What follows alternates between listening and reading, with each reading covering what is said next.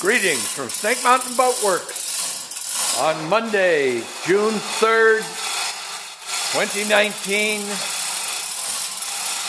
It's flipping time, and this time the flippy will be the 1951 18 foot Penn Yan stern drive transport. We'll get her up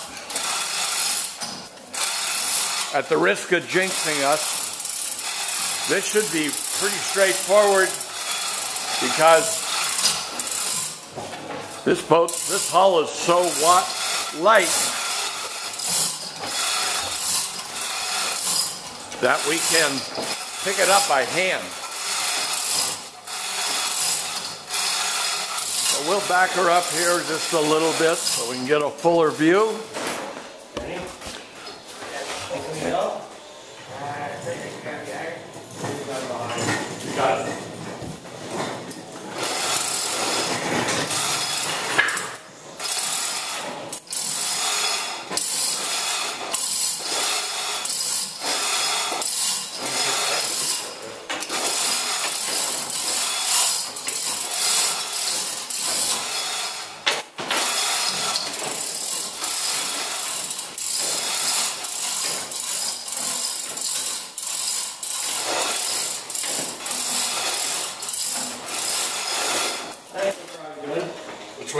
Towards you? Towards Joey. Here we go.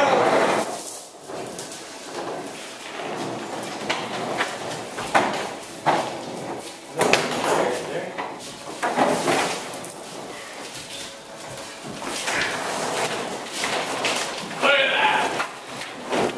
Piece of tape. You got it stabilized? RJ, you got her. Yeah, I got her.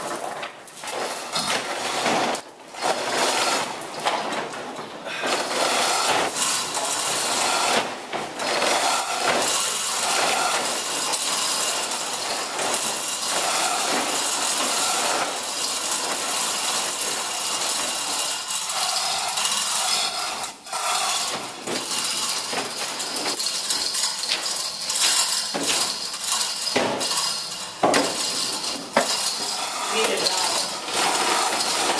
That? We dolly back here. I got it.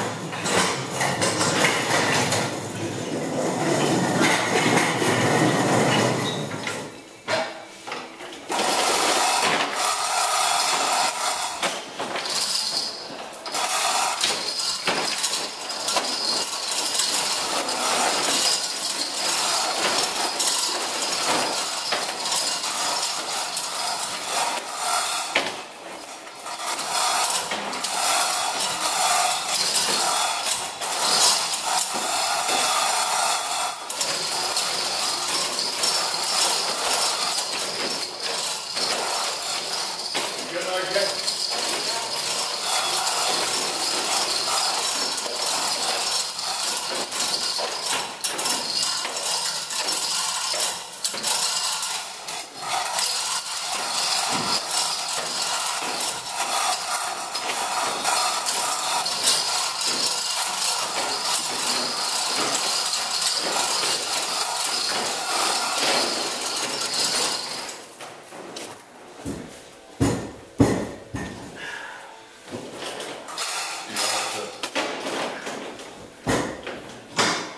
Is that better? Sorry. One more? Yeah. There you go. We're good? Uh, it's gotta come over. Come over which way? Yeah, it's gotta go over that way.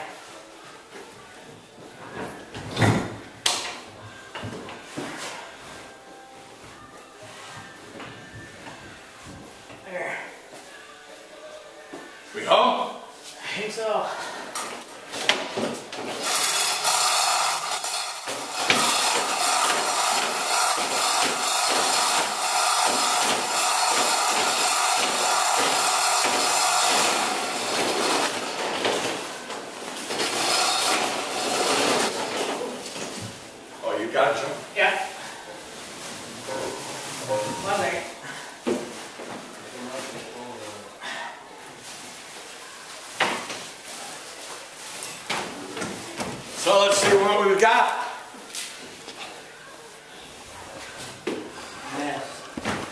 Think we have. Huh? See daylight.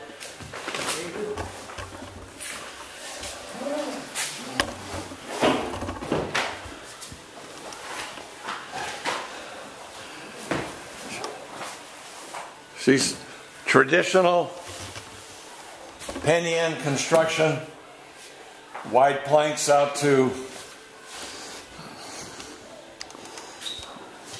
wide planks out to here, and then the narrow strip type planks take over to the full length splash rail. What's really intrigued us, and we will be uh, investigating is that she has a, Hopper. a copper Keel. keel, which may or may not be original. I think we've got to replace the wooden component of it beneath it. But this is actually, if, if you look at this, the way this is formed, RJ, this is actually original. And it's meant to Yeah. sit right there. So we'll have a cup up, up forward. It looks like it's really sound. Right in here, I think we're going to have a, we'll have a section we must deal with. Huh.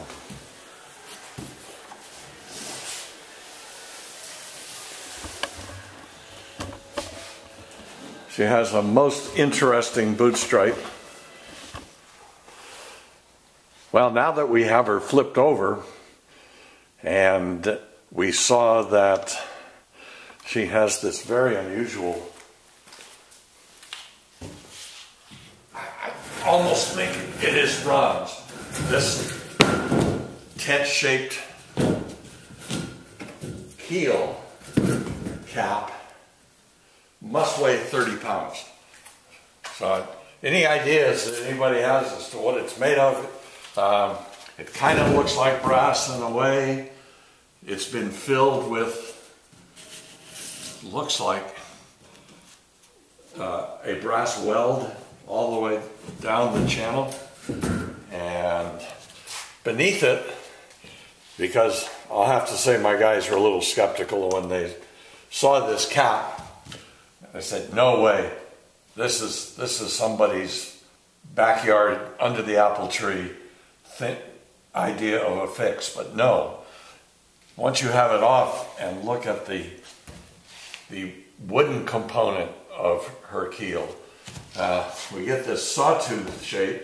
Well, every one of these is a fastener that runs all the way through to the keelson on the other side. Um, it looks like it's in great shape. Somebody who wanted to just get by would just leave it there, strip it, maybe seal it with a little CPES, uh, put some primer and bottom paint on it, and say, there, that's good. We will release it. We will release the entire piece. We do have a short section towards the aft end that will require some of the Dutchman capability that we learned from John LaFountain. Uh, there's just, it's it's interesting. I, as far as I can tell, there's a there's a little downward bend right in this area, and it looks like this thing got whacked right about where. There, you can see it I lay it on its, on its side.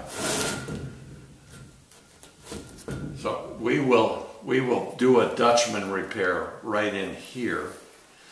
We will release every one of these fasteners, and uh, but first we have a new fellow joining the crew tomorrow, and there's no better way to introduce uh, a fellow like Anthony to the wonders of wooden boat preservation than handing him a gallon of circa 1850s heavy bodied paint and varnish stripper and a pair of gloves and some scrapers and a chip brush or two and say, Welcome to Snake Mountain Boat Works, Anthony.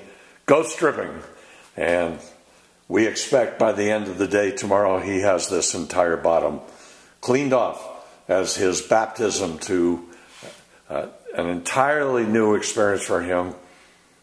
Great kid who's got lots of precise precision work experience.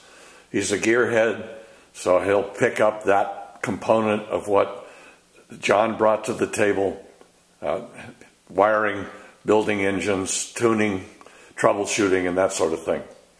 So, with that, we'll end this update on the 1951 18 foot Penn Yan transport. Thank you so much. Bye bye for now from Snake Mountain Boat Works.